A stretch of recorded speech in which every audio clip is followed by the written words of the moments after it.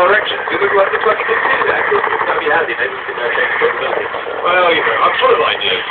It's very much a uh, crew for operation again. You'll see the aircraft uh, now coming downwind and um, positioning.